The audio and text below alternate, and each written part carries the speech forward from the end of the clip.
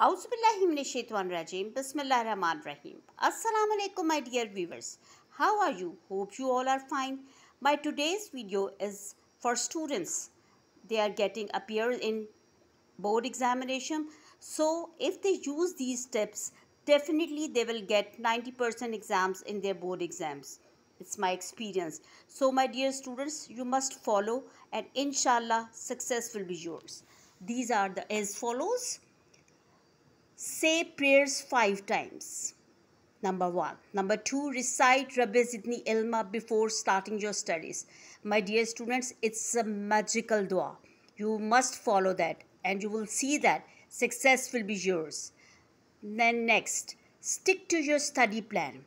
It's very must and very important trip that you have to make a plan and you have to stick on that plan.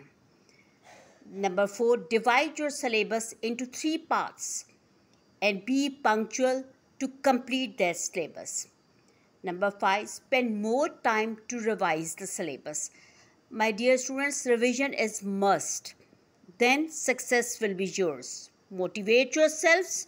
Don't be panic. Stay cool. And also, last point, make the key points of the important lectures. My dear students, if you follow these steps, inshallah, you will get 90% marks in your exams. Definitely, it's my experience. Thank you. Allah Negaban.